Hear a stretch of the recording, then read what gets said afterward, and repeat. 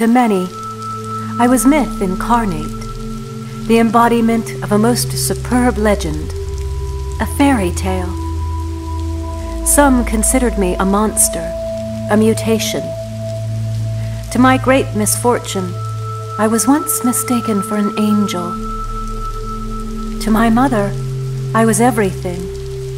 To my father, nothing at all. To my grandmother, I was a daily reminder of love's long lost.